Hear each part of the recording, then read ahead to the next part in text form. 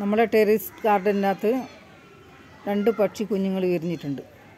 വഴുതിരിങ്ങേന്റെ ഇല കൂട്ടി അതിനകത്ത് ഒരു കൂടുണ്ടാക്കി. എന്റെ മോളം മോനായി ഇവൻ ഇവന്റെ കൂടെ നല്ല ഇണങ്ങിയിട്ടുണ്ട്.